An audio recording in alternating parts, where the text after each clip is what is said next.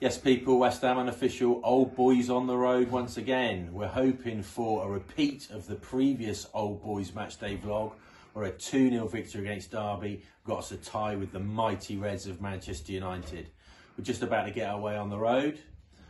Mike, great victory for us at the weekend. Four goals, unheard of this season. A half decent performance, I thought.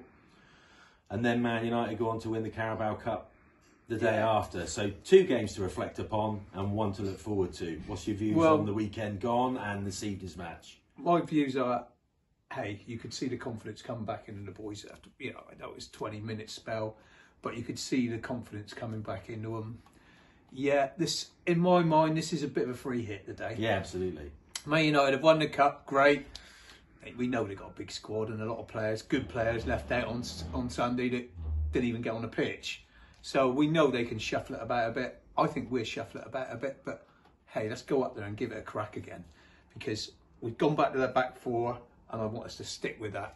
And I think that's more positive and let's keep playing on the front foot in a positive frame of mind and hey, see what happens. So I thought that even from prior to uh, Saturday's result, tonight's a free hit. What have we got to lose? Exactly. In a strange way, the only thing that might go in our favour if they can split Varane and Martinez mm. up at the back, because those two look absolutely solid.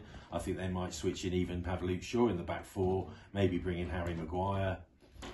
That gives us half an opportunity, but it's not necessarily about the performance. It's going to be about the result. I thought there were a couple of players. I thought the combinations between Paqueta and Benrahma at Yeah. the weekend looked world class for I- some of the period. I think that's the best the best I've seen Paqueta play since he's come to us. So.